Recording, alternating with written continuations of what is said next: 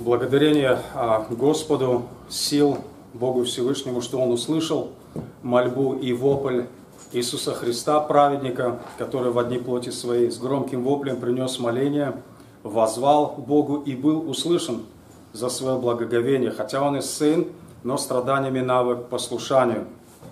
И, и только что вот мы читали а, 7 стих 141 псалма, где говорит Дух Христов, пророчествуя, «Выведи из темницы душу мою, чтобы мне славить имя Твое. Вокруг меня соберутся праведные, когда Ты явишь мне благодеяние». Когда Бог Отец выведет из души святого своего и не даст ему увидеть тление, а, то вокруг него соберутся оправданные кровью его, то есть праведные – есть только один путь праведности, есть только одна праведность, которую признает Святое Писание. Это оправдание кровью Иисуса Христа. Других праведников не существует. Один только был праведный, не имеющий греха. Это человек и Бог Иисус Христос. Сегодня у нас 20 день, 20 воскресенье по Гидельбергскому катехесу «Во что веруешь о Духе Святом?» один день, одно воскресенье а, посвящено личности и делу Духа Святого, третьего лица Троицы. Перед, а, собственно, вопросом хотел бы в качестве эпиграфа зачитать из а, послания апостола Павла, первое, Коринск... первое послание Каримской церкви, вторая глава. Первое послание Коринфянам, вторая глава, апостол Павел пишет следующее. «И когда я приходил к вам, братья, приходил возвещать вам свидетельство Божие не в превосходстве слова или мудрости, ибо я рассудил быть у вас не знающим ничего, кроме Иисуса Христа, и притом распятого. Я был у вас в немощи и в страхе и в великом трепете, и слово мое, проповедь моя не в убедительных словах человеческой мудрости, но в явлении духа и силы, чтобы вера ваша утверждалась не на мудрости человеческой, но на силе Божьей. Мудрость же мы проповедуем между совершенными, но мудрость не века сего и не властей века сего приходящих, но проповедуем премудрость Божию, тайную, сокровенную, которую предназначил Бог прежде веков к славе нашей, которую никто из властей века сего не познал. Ибо если бы познали, то не распяли бы Господа славы. Но, как написано, не видел того глаз, не слышало ухо, и не приходило то на сердце человеку, что приготовил Бог любящим его. А нам Бог открыл это Духом Своим, ибо Дух все проницает и глубины Божии. Ибо кто из человеков знает, что в человеке, кроме Духа человеческого, живущего в нем? Так и Божьего никто не знает, кроме Духа Божия. Но мы приняли не Духа мира сего, а Духа от Бога, дабы знать дарованное нам от Бога, что и возвещаем не от человеческой мудрости изученными словами, но изученными от Духа Святого, соображая духовное с духовным. Душевный человек не принимает того, что от Духа Божия, потому что он почитает это безумием и не может разуметь, потому что о всем надо судить духовно, но духовный судит о всем, а о нем судить никто не может. Ибо кто познал ум Господень, чтобы мог судить его, а мы имеем ум Христов. Аминь. Итак, сегодня у нас 20-й день по Гидельбергскому катехесу о Боге Духе Святом. Собственно, а, а, предмету Духа Святого как личности и его делу а, в освящении, возрождении, этом таинственном могущественном деянии Божьем – посвящается одно воскресенье, но это немножко может показаться странным, что, например, в таком катехезисе посвящается одно воскресенье и всего один вопрос и один ответ о Духе Святом, как если бы это было э, периферийное, малозначащее учение.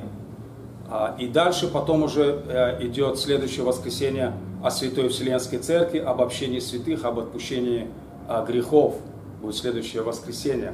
Но на самом деле, так же, как в апостольском символе веры, веры Дух Святой, Он предваряет статьи или же артикулы веры, которые относятся к церкви, ибо Дух Святой, Дух Животворящий, является тем а, могущественным а, утешителем и совершителем, который прилагает благодеяние, а, благо, приобретенное Христовой церкви, а, Христом для своей церкви, в возрождении церкви, крещению Духом Святым, в утверждении святых и в сохранности их от всякого зла.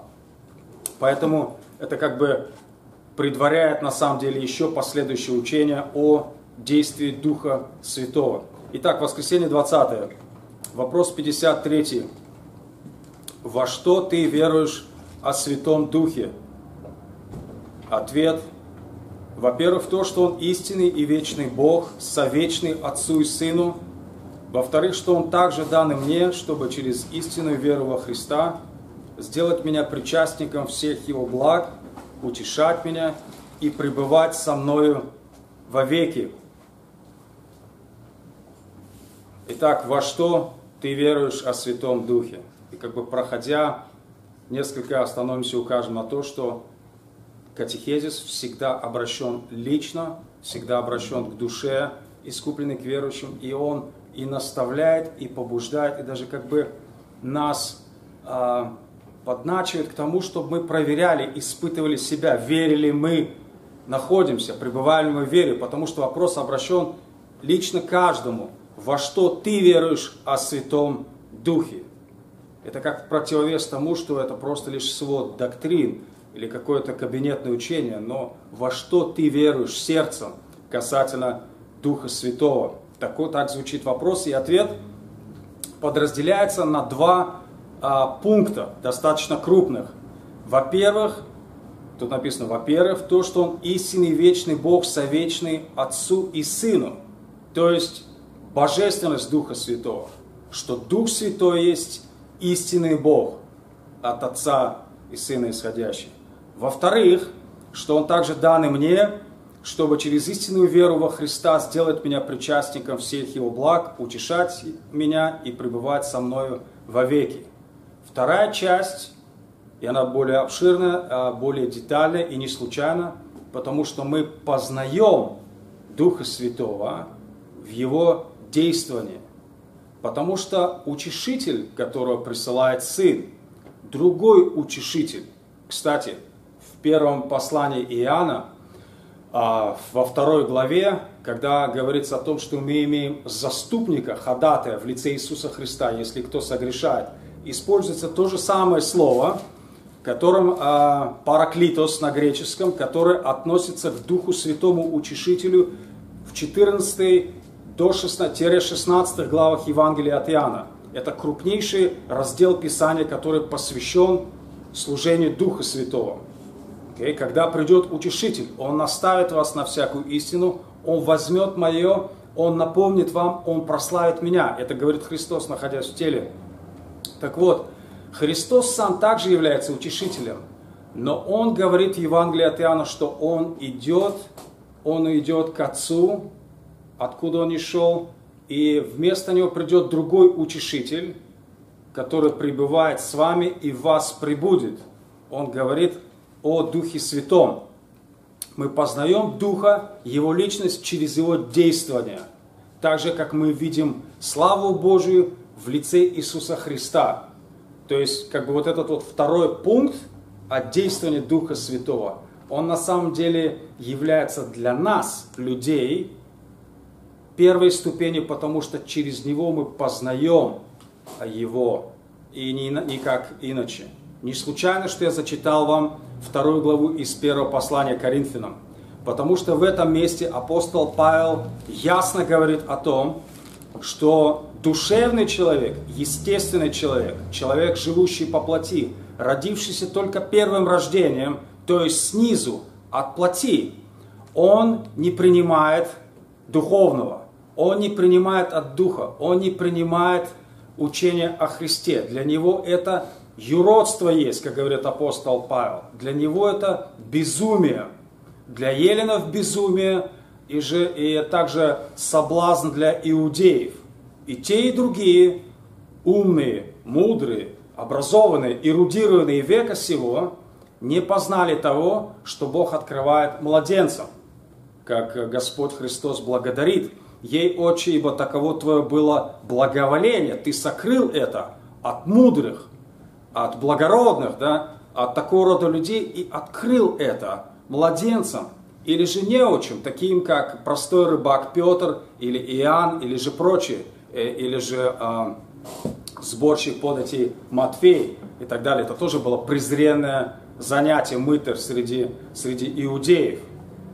Таким образом, первое, что мы можем сказать, мы ничего не можем знать о Духе Святом, доколе сам Дух Святой не откроет нам ту премудрость, которая есть у Бога. Ибо душевный человек этого не разумеет и разуметь не может. По этой причине Павел говорит, когда я приходил к вам, я был в немощи, я был в трепете, и я проповедовал не а, со словами человеческой мудрости. Хотя, кстати, Павел мог бы пустить пыль, он мог бы использовать а, разного рода академические термины, поразив всех своей ученостью, потому что он получил блестящее образование для того времени, учился у ног Гамалиила, он хорошо знал а, прекрасно владел греческим языком, разумеется, знал ветхозаветные писания, и он мог поразить а, Коринфян своей академичностью. Вместо этого он выбирает другое – говорить а, словами, изученными от Духа Святого, соображая духовные слова с духовными для того, чтобы представить им Иисуса Христа. Ну, несколько, поскольку мы систематично подходим к предмету о Святом Духе, в первую очередь, что Библия, объективно говоря, конечно же, раскрывает Духа Святого как личность. Личность божественную, а потому самого Бога. Открывает это явно, и это на поверхности, и когда люди не принимают этого, мы, верующие, можем видеть, что тьма или же покрывало, которое на, на лицах их, из-за чего они притыкаются камень соблазна, является моральной и духовной проблемой. Это не является интеллектуальной проблемой восприятия. То есть, когда лжесвидетели Иеговы, унитарии и прочие сомневаются в Троице или в божественности Духа, это не от того, что Писание не ясно, а потому что Бог века сего ослепил умы их. Несколько явных мест, которые говорят о божественности Духа Святого. Например, а, в великом поручении, когда Господь а, является ученикам своим по воскрешению своего в Евангелии от Матфея, 28 глава, Он говорит, дана мне всякая власть на небе и на земле, итак идите, научите все народы, знаменитая формула, крестя их во имя Отца и Сына и Святого Духа. Одно имя, имя Отца, имя Сына, имя Святого Духа – к этому моменту, в принципе, не возникало вопроса а, у учеников, даже у иудеев, которые со стороны смотрели на чудеса, все дела, которые производил Христос. В личности его никто не сомневался. И если люди могли говорить, но Дух Святой, о котором говорит Ветхозаветное Писание, и Дух Божий носился, э, носился над водой, да, второй стих а, первой главы Берешита книги «Начало», «Бытия», да, они скажут, ну это можно сказать, что это энергия или же сила Яхвы, но это не личность. Но к тому моменту, когда Иисус произносит эти слова и дает поручение ученикам, было абсолютно ясно, что Он есть личность. А более того, было понятно, что Он не просто человек. Почему? Потому что Он воскрес из мертвых. Это по духу святыни Он открылся. Первая глава послания к римлянам.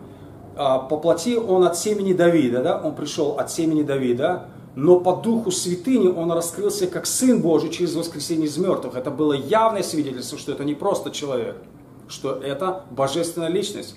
И было бы странно, если бы эта божественная личность, посылая учеников своих в мир, сказал бы, идите, научите все народы, крестя их во имя Отца и Сына и энергии или, или какой-то силы. Это было бы по меньшей мере странно. То есть, когда говорится об имени, подразумевается, разумеется, личность, что Бог един, одно имя, и в то же время Отец и Сын и Дух Святой. Это уже является а, доказательством немалым. Потом, а, пастор завершает богослужение знаменитой бенедикцией из второго послания Коринфянам, 13 глава, 13 стих, когда он говорит «Благодать Господа нашего Иисуса Христа и любовь Бога Отца и общение Святого Духа со всеми вами. Аминь». Это звучит на многих собраниях, не только у нас, на многих, на многих местах, где призывается имя Бога Вечного, и говорят эти слова. Но опять же, было бы странным, если бы сказано было благодать Господа второй личности и любовь первой личности и общение энергии прибудет с вами. То есть это, это было бы крайне неразумно и нелогично. А мы знаем, что Сын, предвечный Логос, мудрость Божия, Он пришел, чтобы открыть Бога и открыть истину. И, соответственно, это является доказательством, что Святой Дух является личностью. Даже в ветхозаветных писаниях были проблески того, что Дух Святой не есть лишь некая эманация исхождения силы от Яхвы, а является личностью. Например, пророк Исаия в 63 главе 10 стихом говорит об израильтянах, о сынах э, э Израиля, но они возмутились, он говорит 10 стихом, и огорчили Святого Духа Его. Поэтому он обратился в неприятелей и сам воевал против них. Огорчили Духа Святого. Невозможно огорчить энергию, невозможно огорчить силу. То есть одно это уже утверждает его личность. А если мы понимаем, что он личность, и если мы знаем, что нет Бога иного, кроме Бога и Иеговы, сущего, значит, он есть святое лицо Троицы. В Новом Завете мы знаем в эпизоде э, про Анани и Сапфиру. Помните, да, когда они продали землю, утаили часть денег, но они хотели показаться в глазах апостолов ревностными, верующими, для того, чтобы получить некие привилегии от церкви. Сегодня тоже многие ищут, чтобы э, почитаться святыми э, среди святых, не будучи такими в сердце. И вот они делают это. И Петр, когда обличает Анания, а, он говорит, это описано в пятой главе книги Деяний, третьим-четвертым стихами, Петр сказал, Анания, для чего ты допустил сатане вложить в сердце твое солгать Духу Святому и утаить из цены земли? Чем ты владел, не твое ли было, и приобретенная продажа не в твоей ли власти находилась? Для чего ты положил это в сердце твое? Другим словом, слукай, зачем ты это сделал? И он говорит, ты солгал не человеком, а Богу. Солгал Духу Святому, солгал Богу. Мы также знаем грозное предупреждение самого Христа, когда Он говорит в Евангелиях, что хула на Духа Святого не простится ни веки сем, ни веки грядущим. Хула на Сына будет прощена, но на Духа Святого нет – и, а, и это, помимо всего прочего, что должно вызывать трепет, в принципе, у всякого человека, который приступает а, к Богу, доказывает ему, что Дух Святой есть личность, которую на самом деле люди оскорбляют, огорчают, а, принижают и против которого они противятся. То есть это что касается личности Духа Святого. Но Дух Святой приходит так же, как до него пришел Сын. Он приходит для того, чтобы прославить не себя, а прославить того, от которого он исходит. Вот это фатальное заблуждение харизматов, пятидесятников и прочих, которые ищут мощных каких-то манифестаций, проявлений, а, чудес, говорение на иных языками, как они их именуют. И у них это все как-то происходит как-то в отрыве. Более того, опасность заключается их позиции в том, что Дух Святой является неким выборочным элементом для более высокой победоносной христианской жизни. Они говорят, ну вы верите, это хорошо, вы братья и сестры, а, это первый шаг, это первая ступень. Но для того, чтобы действительно подняться на гору, на гору Божию взойти, вы должны, разумеется, путем усилий путем желания и подвязания добиться того, чтобы получить Духа Святого, и тогда вы станете особым классом, особой ступенью духовных верующих. Вы плотские, вы малые дети. Для того, чтобы возрасти, вы должны получить Духа Святого. И, разумеется, получают они это своими собственными усилиями. Вы зайдете в любую харизматическую церковь, и вам расскажут, каким образом получить Духа Святого человеческими усилиями. А, кроме всех прочих заблуждений, которые связаны с говорением на языках, с так называемыми исцелениями, которые являются шарлатанством и прочими делами, заблуждение кроется гораздо глубже. Дух Святой пришел не развлекать, не давать людям какую-то особую магическую силу. Дух Святой пришел для того, чтобы научить об Иисусе Христе. Откроем э, Евангелие от Иоанна. Я покажу несколько мест, которые больше всего раскрывают нам, для чего пришел Дух Святой, в чем заключается его миссия а, и в чем его цель и намерение.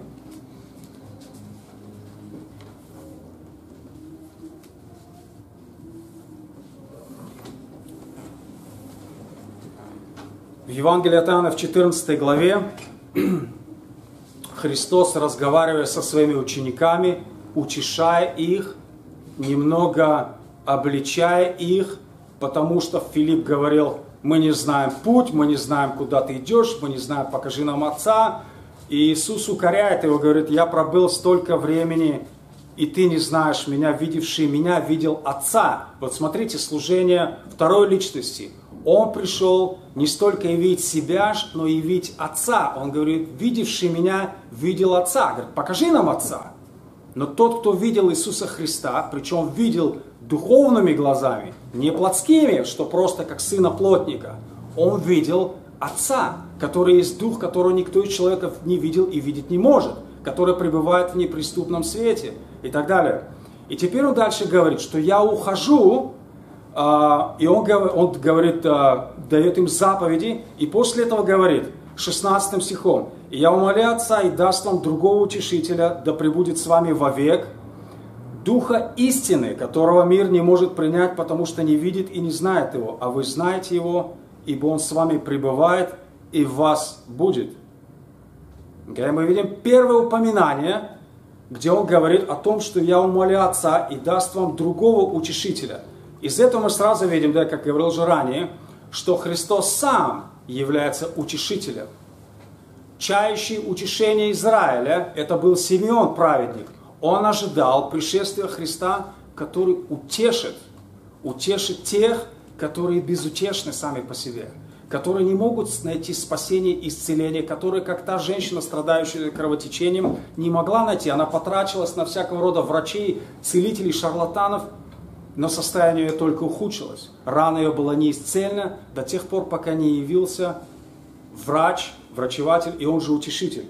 Но это Христос. Он пришел, чтобы исполнить то, ради чего послал его Отец. Он говорит, ну теперь я ухожу. Я умоляю Отца, пришлю вам и даст вам другого утешителя, да пребудет с вами вовек. Духа истины, которого мир не может принять, потому что не видит его и не знает его. А вы знаете его, ибо он с вами пребывает и в вас будет. Дух пребывает и Дух истины. Дух не лжи, Дух не заблуждения, Дух истины. В этой же главе, спустите далее, перенеситесь на, а, на следующей странице, 26 стих, говорит Иисус, «Утешитель же, Дух Святой, которого пошлет Отец во имя Мое, научит вас всему и напомнит вам все, что я говорил вам». Заметьте также здесь, из наблюдения за этим стихом, что утешителя, которого пошлет Отец во имя Иисусова, научит вас всему и напомнит вам все, что я говорил вам. Напомнит, научит вас всему и напомнит все, что я говорил вам. О чем, о чем здесь говорится? Разумеется, это в первую очередь направлено к апостолам, к ученикам, чтобы напомнил им все, что он говорил им, потому что вы помните, да, мы читали великое поручение, да, идите научите все народы, крестя их во имя Отца и Сына Святого Духа, уча соблюдать все, что я повелел вам.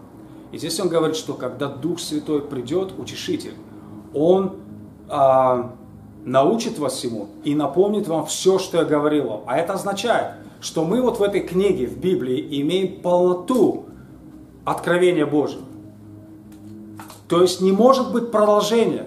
Опять же, я здесь немножко звучу полемично, потому что и исторические церкви крупные, и многие из так называемых э, неопротестантов учат тому, что откровение продолжается. И на самом деле все эти притязания на частные молит, молитвенные языки, на видение, на, на сны, на пророчество бросают тень на завершенность Писания.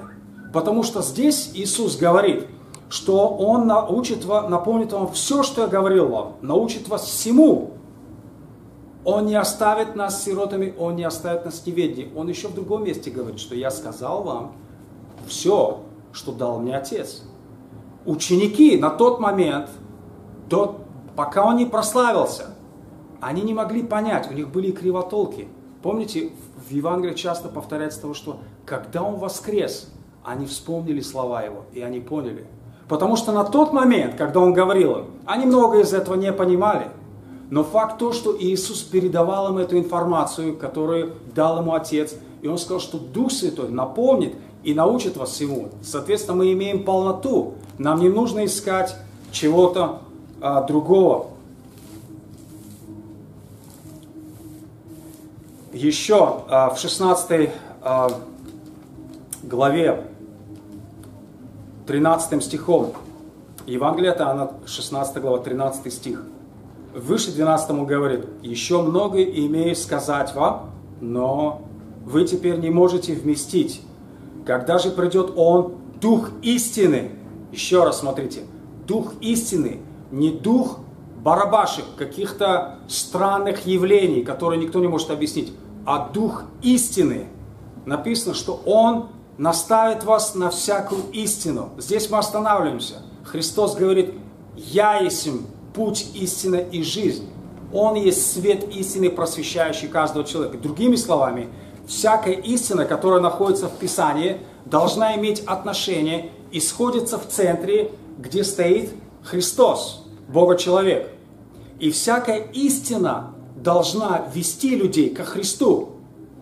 Если истина, которую вы видите, или вам открылась, или открыл какой-то гуру, или какой-то проповедник – которая ведет человека не ко Христу, а каким-то другим окольным путям, которые на самом деле прославляют человека, его посты, а, его какой-то там подвиг, каких-то там святых, неважно что, какую-то землю израильскую святую, которую якобы нужно посетить для того, чтобы получить какое-то просвещение, то это не есть не от Духа истины. Потому что Дух истины будет говорить о Христе. И читаем дальше в этом же стихе. Тут написано, когда же придет Он Дух истины, то наставит вас на всякую истину, ибо не от себя говорить будет, но будет говорить, что услышит, и будущее возвестит вам. А что Он услышит? Следующий стих. Он прославит меня, 14 стих, потому что от моего возьмет и возвестит вам. видите? Дух Святой, другими словами, не дает новых откровений – он не сообщает ничего нового, что не входило бы в книгу Библии. Дальше того, что сказал Христос. Он разъясняет, он просвещает, озаряет, дает способность принять то, что от Духа соображает духовность духовность, для того, чтобы увидеть в Писании Христа и единственный путь спасения, который во Христе Иисусе.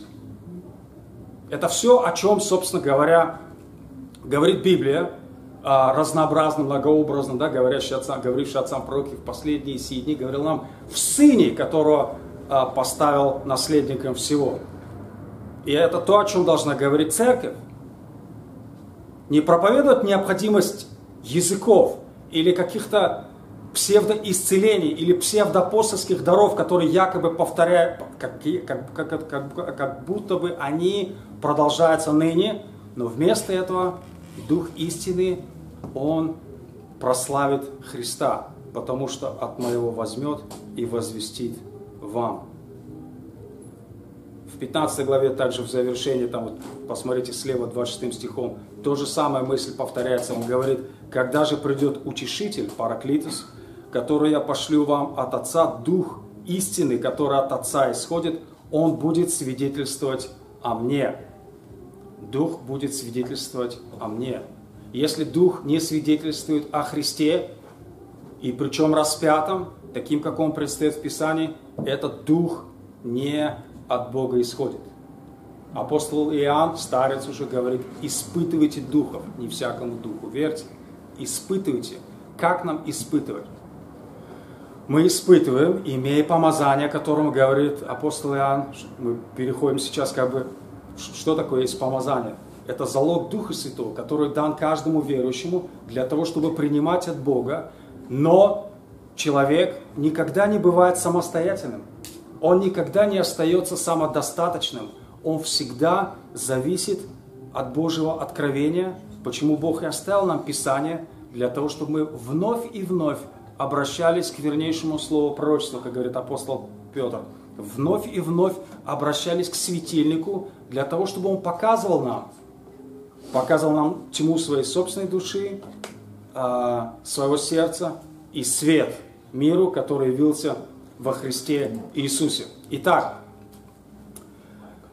существует здесь очень личный, э, очень личное измерение всего того, что я говорю. Потому что в конечном итоге учение о Духе Святом, оно никогда не должно оставаться каким-то абстрактным набором знаний. Если он называется утешитель, слово, конечно, немного а, а, трудное а на греческом оригинале, это тот, который приходит и идет рядом – этот утешитель, который, как помните, да, ученики шли по дороге в Имаус, и Христос поравнялся с ними, и Он стал идти вместе с ними, раз, разъяснять им. Это как бы является предвозвещением того, что делает Дух Святой. Или помните, как а, Евнух сидел в колеснице, он читал пророка Исаия, он не мог понимать, о чем говорится а, в, а, в этих страданиях, которые описаны. И появляется а, Филипп, и он садится потом в колесницу, и он разъясняет ему. Это та функция, которая на самом деле осуществляет Дух Святой. Он раскрывает нам Христа, и Он также заверяет нас. Вот посмотрите, как красиво говорит Гейдельбергский катехизис. Он говорит, во-вторых, что этот э, Дух Святой, который есть истинно Бог, также данный мне, чтобы через истину веры во Христа сделать меня причастником всех его благ, утешать меня и пребывать со мною вовеки. Вера тоже от Духа, потому что Он пробуждает в нас эту веру это действие не от человека. Дух дает веру, Дух дает утешение, Дух заверяет.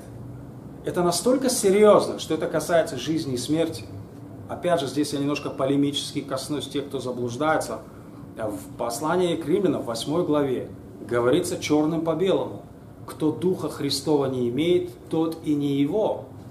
То есть, когда некоторые церкви сегодня, или которые называются церквями, притязают на то, что они есть духом крещенные церкви, в то время как остальные лишь водою, а, то они при этом, если они честные, они должны сказать, что вы вообще не верующие, вы не Христов, потому что апостол, Петр, апостол Павел говорит, что тот, кто духа его не имеет, тот и не его. На самом деле невозможно само такое существование христианина, который не имел бы духа.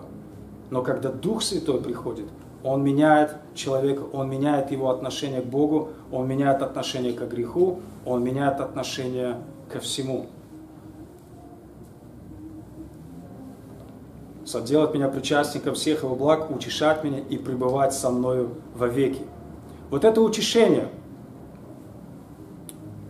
где-то я недавно читал такую цитату о том, что по-настоящему молиться мы начинаем тогда, когда мы понимаем, что помощи нам ждать неоткуда. И у нас нет ни сил, ни мудрости, нет ничего. То есть, другими словами, доколе мы не нищие духом, мы не можем получить истинное утешение от Духа. И это тоже от Духа, когда Он дает эту нищету. Нужно говорить «Слава Богу!» и бежать к Нему. Имеем ли мы это утешение? И насколько это утешение действительно духовное?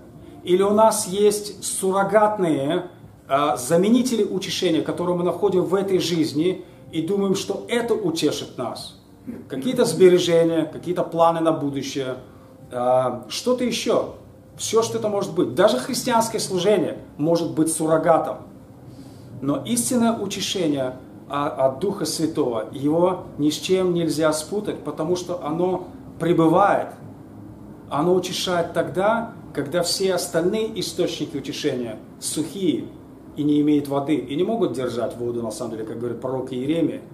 И тогда мы оборачиваемся к источнику воды живой. Вот во что нам надлежит веровать о Святом Духе, что Он есть истинный Бог, и что Он также дан и нам, для того, чтобы мы могли веровать, для того, чтобы мы могли утешаться, для того, чтобы наставить нас на всякую истину, и для того, чтобы пребывать с нами вечно, для того, чтобы довести нас до того момента, когда мы будем лицезреть Бога, так сказать, в непосредственном Его присутствии. Царю же веков, нетленному, невидимому, единому, имеющему премудрость, честь и, честь и слава во веки веков. Аминь. Аминь.